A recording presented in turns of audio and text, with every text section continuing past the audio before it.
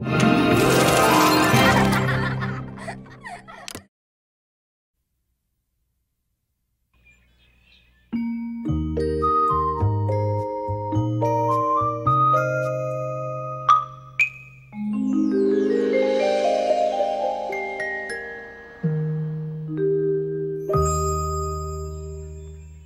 more information about our developmental products for babies and toddlers, visit babyeinstein.com.